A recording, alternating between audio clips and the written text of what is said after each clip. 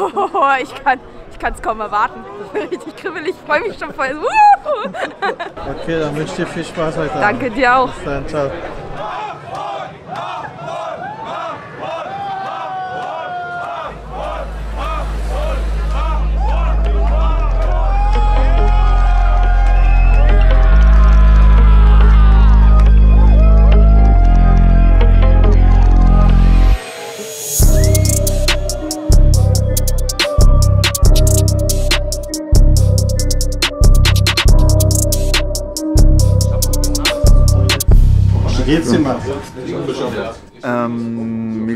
Ich freue mich drauf, dass äh, das Album um 0 Uhr rauskommt und dieser ganze Stress und der ganze Scheiß der letzten Monate, ganze, wir haben alles selbst gemacht, der ganze Druck endlich von, von den Schultern ist. So.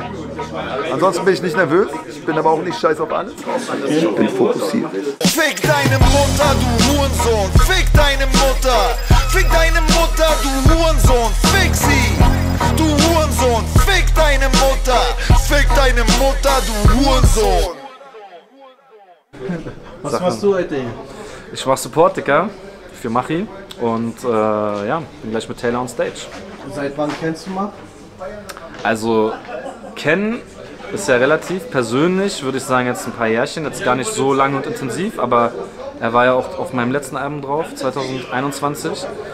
Aber ich kenne Mach als Mach One schon ewig, Digga. Ich habe am Release-Tag von Meisterstück 1 war ich bei Beatles mit zwei Homies, wir haben das schon gekauft damals. Davor natürlich schon, auch wenn ich es nie hatte, die letzten und so einen Scheiß gepumpt, Bassbox, also man hat Mach immer, immer gehört.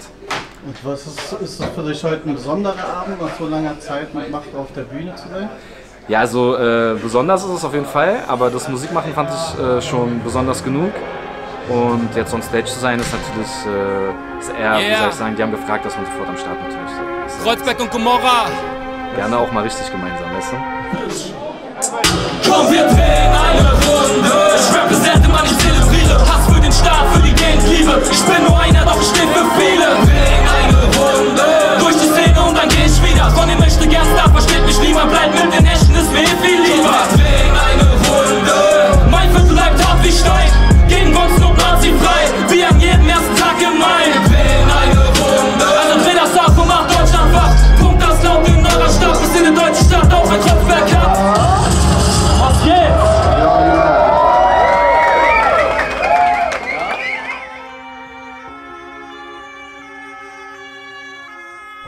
Dich, wenn du an Mach One denkst?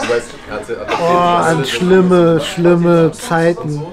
Chaos, Drogen und Alkoholexzesse. Ich erinnere mich eigentlich ungern, ungern an Macht. Es ist, ähm, ja, es ist mit Trauma und ähm,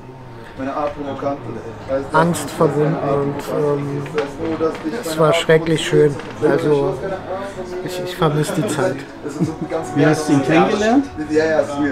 Boah. Alter, ich weiß nicht, ich glaube, der war schon immer da einfach. Gibt es was, worauf du dich heute Abend freust?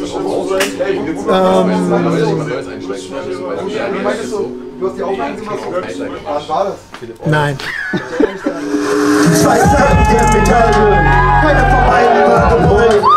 Wir schmeißen mit Fäkalien um und sind eine Stadt aus Gold und wunderlos. Warum es so nach Pisse riecht, bevor du in der Kiste liegst, genießt du die Hysterie dieser untergehenden Zivilisation. Ein letztes Mal, das hört sich dramatisch an. Komm, halten wir den Atem an und warten dann. Yeah, ich bin Echo du Sex aus Kreuzberg 3.6. Dieser Gruß geht raus an meinen Bruder, an mein Abi. Mach One, den ich seit über 25 Jahren kenne. Denk dran. Marianstraße, das letzte Loch. Baby, baby. Gruß geht ran an die ganzen Bassbox, an Akteborn. Das ist Echo, das ist Echo. Auf Echo macht man erstmal den Highschlag. Heißschlag. Highschlag. Auf jeden Fall, dieser Gruß geht raus an One, mein Bruder. Danke. Happy für den Release. Endlich ist der ganze Stress vom Tisch und wir können endlich mal wieder Moves machen. Fandet ihr den Abend? Erstmal atmen. Kite, Kite. Wie fandet ihr den Abend? Mich darfst du nicht fragen, ich hab's erlebt so. Also frag die anderen, die es erlebt haben, unter der Bühne. Für uns, für uns war super, für uns war super. Also danke an alle.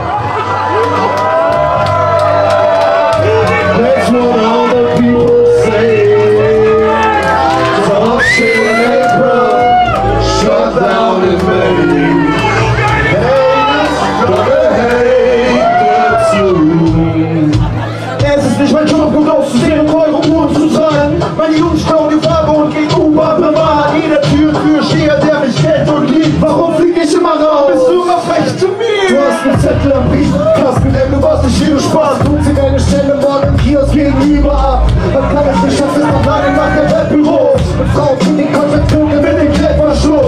Ja, ich bin Woody. Liebe Grüße an Mach und Mortis. Wird ein schöner Abend. Ja. Ich glaube, die treten heute auf. Ja. Wie lange wartest du schon? Äh, ich warte schon ja, mein ganzes Leben auf dieses Album. Ja. Ehrlich? Ja, schon. Wie gefallen dir bis jetzt die Tracks so, die rausgekommen sind? Vom neuen Album gefallen mir die Tracks sehr gut. Schlesi habe ich gerade noch mal hier auf dem Weg hierher gehört. Komm, wir treffen uns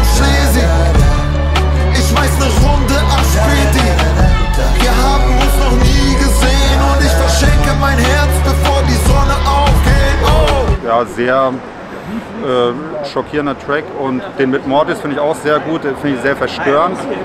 Gute Texte, gute Lines, aber wirklich auch ähm, ja, grenzwertig, aber schön. Ja. Das muss auch Hip-Hop liefern können und das muss man als Rezipient auch abkönnen. Guck mal, wie wir klarkommen mit der Welt. Lass uns etwas Schönes kaputt machen. Guck mal, wie wir klarkommen mit der Welt.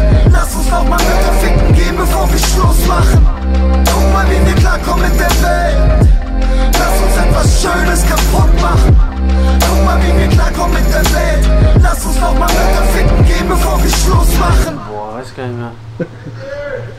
Zu dem Song gekommen ist.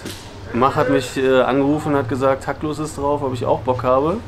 Und wer bin ich, dass ich da Nein sage? Klar hatte ich Bock. Ja. Wie hast du ihn kennengelernt? Äh, nee, ich glaube nicht. Also könnte sein, aber ich glaube nicht. Um ganz ehrlich zu sein, ich weiß es nicht mehr, aber ich weiß, dass ich ein Album mal von ihm habe mischen lassen. Das war auf jeden Fall geil. Wir haben so in einer Straße gewohnt, äh, Mariannenstraße. Und aber so quasi nur ein Block zwischen uns. Und da äh, bin ich dann immer rübergelaufen. Dann hat er Pause gemacht, ist zu seiner Mutter hoch und ich bin in meine Wohnung. Und dann äh, hat er ein Album von mir gemischt. Das weiß ich noch. Aber wie wir uns kennengelernt haben, das weiß ich, muss irgendwie wahrscheinlich Hip-Hop-mäßig was gewesen sein. zieht aus. Einfache Gleichung, Kaffee nicht auf, was geht? Mit euch Bastarden, eure Mütter rufen an,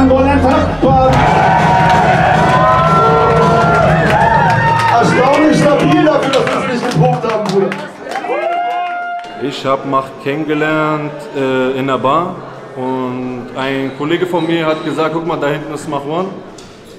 Und dann dachten wir, weil er Rapper ist, müssen wir ihn erstmal also an den Tisch setzen und ihn ein bisschen testen. Es hat so ausgesehen, dass ich ihn unterdrücken wollte, aber er hat es direkt gecheckt, dass ich eigentlich tief im Inneren etwas Gutes habe, so wie er es bei allen macht. Und ja, das war's eigentlich schon. Nächste Frage. Achso, und ich bin Gera Berlin und ja, kauft alle mein Album, was irgendwann in fünf Jahren erscheint. Gera, blядь, blядь. Ich wach mit nasser Hose auf und hab gleich wieder Bock auf Darkroom. Ich geh ballern. Schlag zu, wenn mir keiner was ins Glas tut. Rück auf Hut bei Kevin hält der Fahrstuhl. Ganz netter Abend. Ich mache jetzt den Sack zu. Wie hast du Mache kennengelernt? Radio-Hits von früher gegen alle nur noch um sich Weiß ich nicht, Alter. Ich kenne den Typen schon ewig, Alter. Aber auf jeden Fall äh, hat er wieder ein richtig krasses Kunstwerk hingeliefert. Und heute war ein verdammt geiler Abend, Machi, auf dich. Ich habe leider kein Bier mehr, ich muss mit Energy anstoßen, Alter. Aber ich liebe dich, Bruder. Ich liebe dich. Ein schöner Abend, Machi, Alter. Feier dich. Geiles Album, geiles Kunstwerk. Künstler Nummer 1. Mein Machi. Hier drin. Agnes schreibt ein Buch! Agnes schreibt ein Buch! Agnes schreibt ein Buch! Woher wisst ihr das? Ich weiß es nicht. Wer hat das geleakt? Das hat irgendjemand geleakt. Acht Jahre hat das Album gedauert. Nein. Du zufrieden? Es hat nicht acht Jahre gedauert. Wir haben nur acht Jahre keine Musik, also kein Album mehr rausgebracht. Wir haben jetzt so vor fünf Jahren haben wir angefangen äh, an dem Album zu arbeiten oder mit der Idee ist die Idee geboren so. Und äh, jetzt haben wir das Ding fertig, jetzt kommt es raus. Natürlich bin ich zufrieden, es ist ein Monster, beste One Album ever. Ich schwöre. Desto tiefer fällt man. Und der Planet dreht sich weiter. Ein neuer Strich auf der Leinwand. Leinwand. Das Kind in mir lebt noch. Lebt noch. Das Kind in mir lebt noch. Das war ein wundervoller Abend. Das waren Legenden auf der Bühne. Und dann bin ich wieder runtergegangen und dann kamen die anderen Feature-Gäste. Nein, Hap- Happy Release, Machi, Alter. Ähm, Friss oder stirb. Ab jetzt. Kauf oder stirb. Fuck you. Da erwartet mich auch nichts. Mein Vater verhaut meine Ma, wenn er blau ist. Von wo seid ihr gekommen? Ich komme von Wusky-Allee. Ich wohne zwischen Lippe und Zwicke. Wie lange verfolgst du schon mal? Seit ich 30, 13 bin oder so. Und wie alt bist du jetzt? Ja, älter. Ich kann mich einzig auf mich selbst verlassen. All meine Platzwunden selbst verarzten. Ja, Fakt. Aber man wartet sieben Jahre, man wartet zehn Jahre, man wartet auch mal 15 Jahre. Alles gut. Hauptsache der Junge bringt wieder neue Sachen. Ich glaube, das ist auch mit das spannendste Release seit Meisterstück 2, glaube ich. Weil es einfach wieder ein richtiges Machalbum ist. Was gefällt dir am meisten bei ihm? Seine Ehrlichkeit, dass er ähm, viel Reales aus seinem Leben erzählt und nicht so viel Bullshit wie die meisten anderen Rapper. Ach, tatsächlich Fan der erste Stunde. Ich habe mit 14 angefangen. Ich habe es damals 2002 mitbekommen und bin da geworden. Ja, 20 Jahre.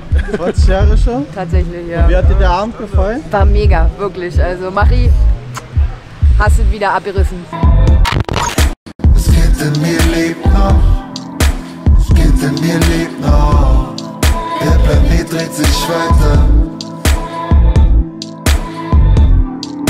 Das Kind in mir lebt noch. Das Kind in mir lebt noch.